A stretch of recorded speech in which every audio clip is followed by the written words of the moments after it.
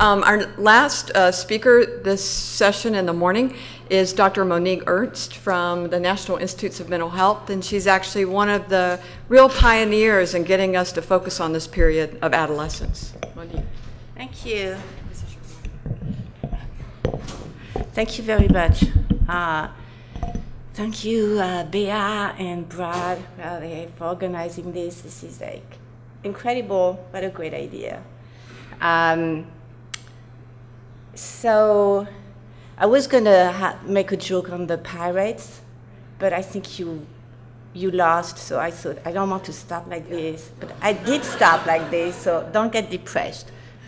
Um, so today I'm going to talk about the striatal functional connectivity across age and with a special um, interest in adolescence. Okay, no, this is not like this. All right. So I'm going to do like a small review, even though we talked about uh, this, some people may not have a big picture, you know, the overall picture of connectivity. So we have billions of connections, which are really enclosed in our small box here. Um, but these connections are organized, so this is like the beautiful DTI pictures, structurally and functionally.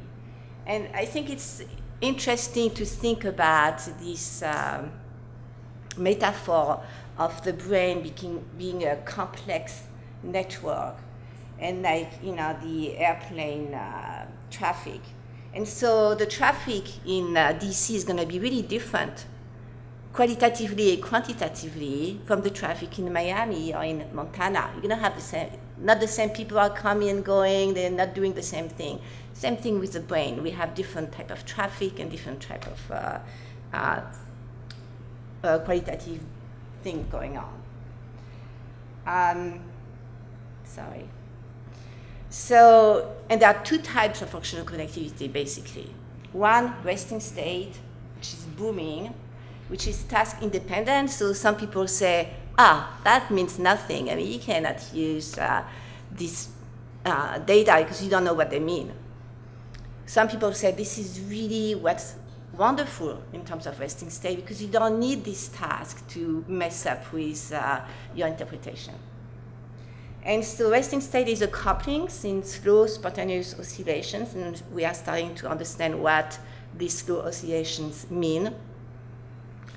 And then we have activation-related connectivity, task-dependent, and those are changes in event-related activities. So in a way, here on the top, you have this uh, resting state activity. So this is slow oscillation, so over 10 to 100 seconds, repeated for over six minutes, and you see how region A correlates with region B.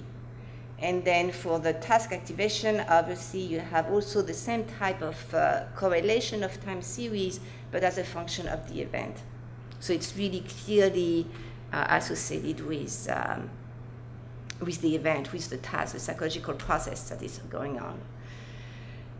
In terms of analysis, you have hypothesis-free analysis, uh, we talked about that, graph theory, independent component analysis. I think one of the big difference between these two analyses is that graph theory, you get metrics of this uh, complex network, network. You know, a little bit like, you know, some more flavor of uh, qualitatively different uh, or aspects of uh, this network.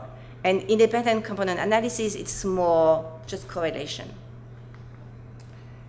And then you have the hypothesis-dependent data-driven analysis, and basically those are, those are seed-based networks. And this is what I'm going to present today, and particularly based on the striatum. Why the striatum? So we know that it's a central structure for motivated behavior. Of course, doesn't work in isolation, so that's what we're going to talk about.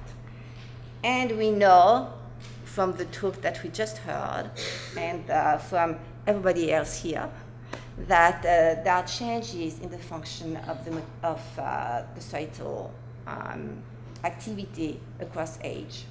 you can see with this little uh, funny drawing, I think funny, that you know motivation changes across adolescence.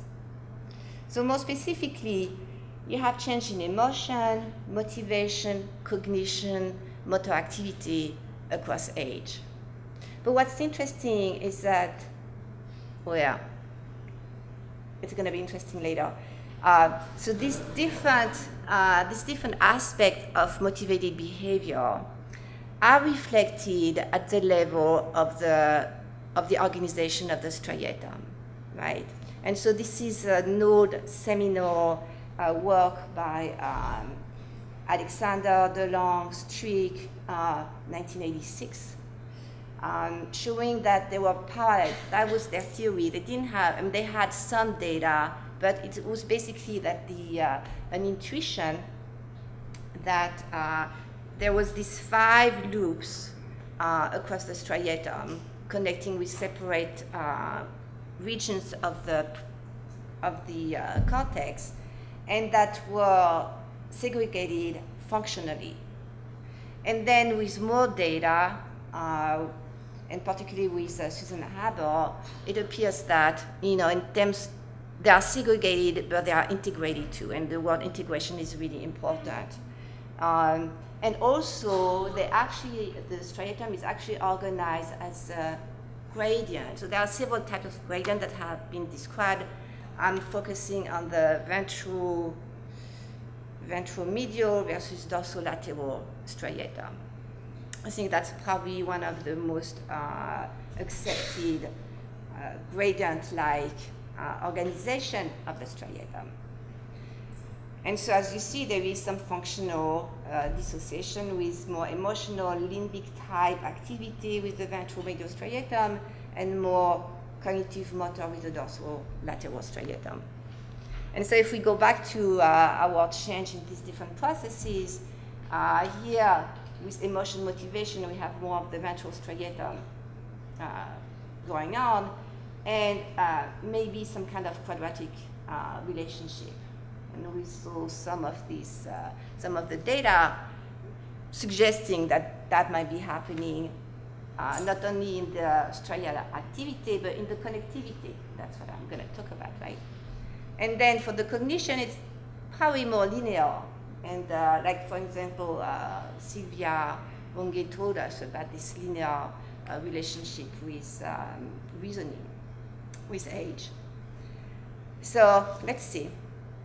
Um, we, uh, we actually framed our study after Adriana Di Martino, who's part of the team of Mike Milham and Javier Castellanos, uh, because they had this uh, beautiful study uh, looking at functional connectivity of the striatum as a function of different uh, regions, and these regions were uh, identified using, um, um, forgot their name, da da da, and Dagher 2006.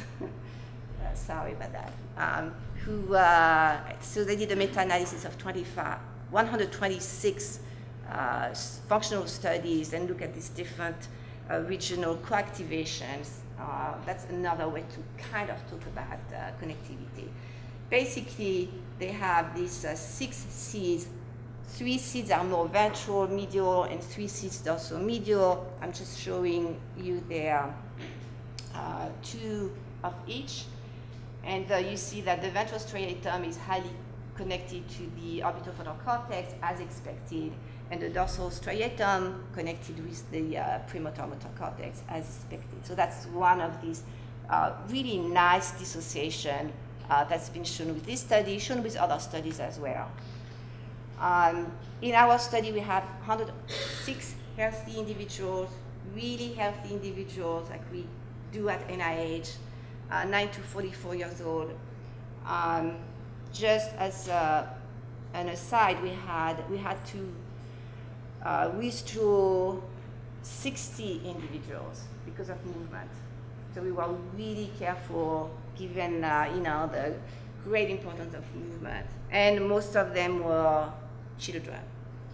Uh, six minute scan, seed-based analysis, straight ROI, the Macmillan pipeline, and we use um, FWE corrected cluster-wise thresholding, the, the usual. So now I'm showing you the map, just the map like uh, Adriana uh, study, which is the connectivity across the whole sample age corrected. Uh, so ventral striatum, dorsal striatum. By the way, we use the three ventral, ventral medial seeds that she had as a mask and the three dorsal lateral thread as a mask. And so again, here this is interesting. We see again this uh, high connectivity, positive connectivity with ventral striatum, but interestingly a negative connectivity of the dorsal striatum with the uh, orbitofrontal cortex. So most interesting is to see whether head-to-head, what's the difference between these two type of connectivity. And um, in green, this is where the ventral uh, group is higher than the dorsal group in terms of their connectivity. And as expected, you have the orbitofrontal cortex and you have the uh, um, dorsal anterior cingulate. And then for the uh, blue, those are the connectivity that are stronger with the dorsal than ventral striatum. And as expected, you have the um, motor cortex and you have also the uh, insula. So now, this is the crux of the study, you know, what does age do between 9 and 44 years old. So blue, negative correlation, yellow, positive correlation. Those are our maps. What happens? So ventral striatum and dorsal striatum. Ventral striatum, we have decreased connectivity with dorsal anterior cingulate, decreased connectivity with insula with the ventral striatum, and with the dorsal striatum, we have increased connectivity with the posterior cingulate cortex. So this is really very, uh, very selective, um, really strong, and uh, we were wondering where is our OFC. It's not there.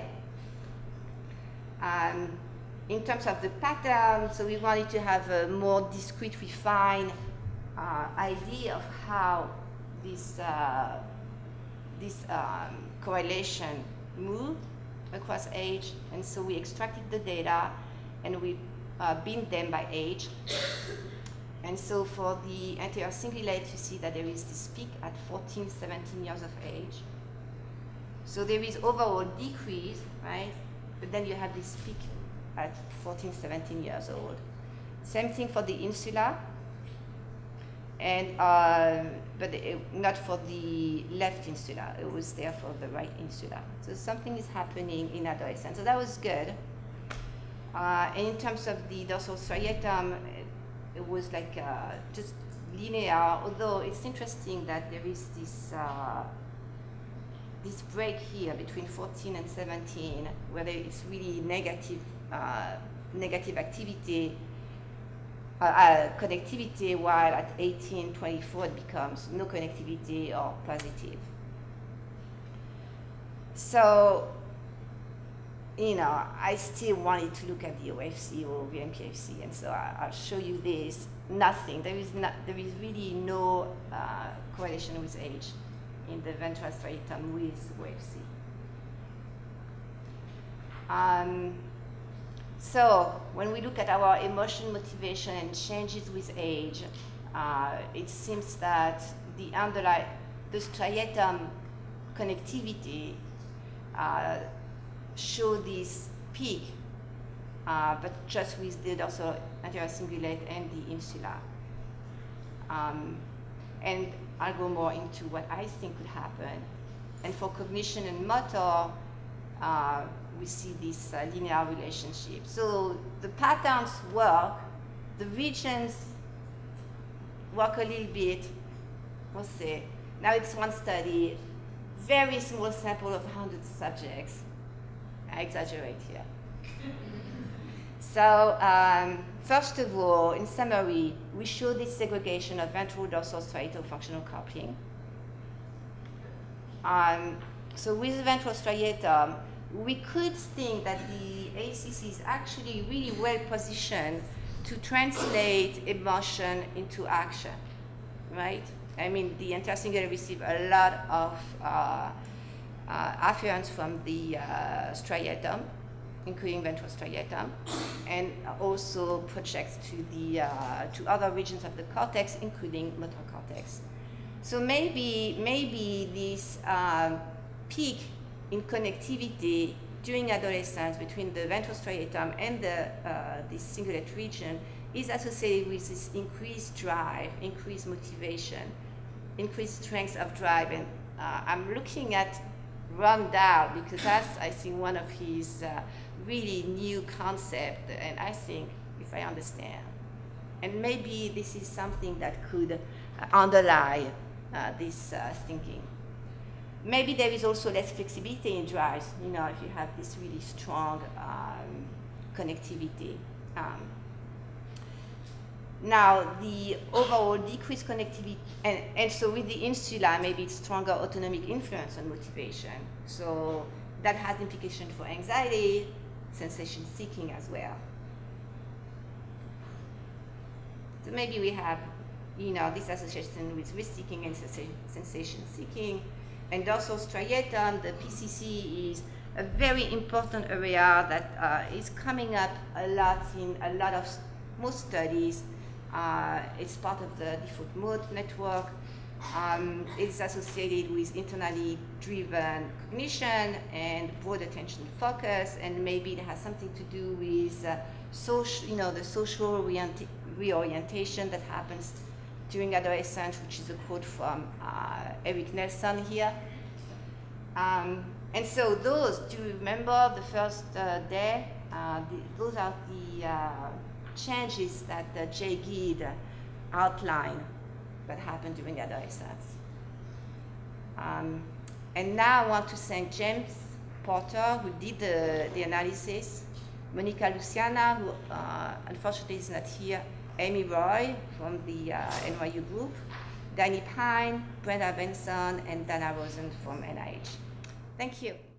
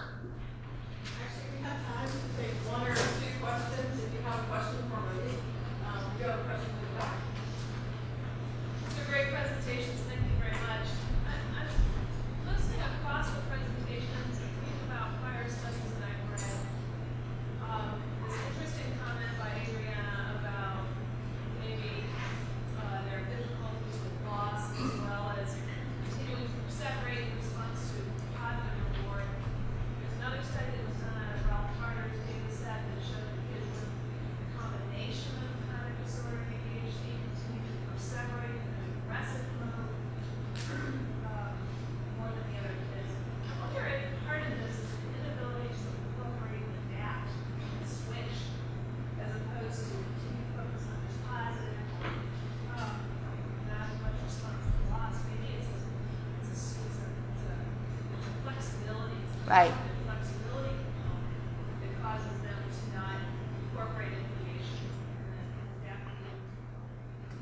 Yeah, uh, well, I think it's a it's a great interpretation. I mean, I you know I talk about maybe this lack of flexibility in the drive, and so you have two things that you said. You know, this flexibility and this sensitivity, differential sensitivity to loss and reward, like uh, Jim was saying.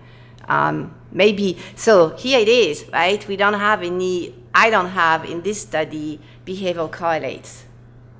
So I need the behavioral correlates. And uh, um, we have some, but not in everybody, so that's a problem.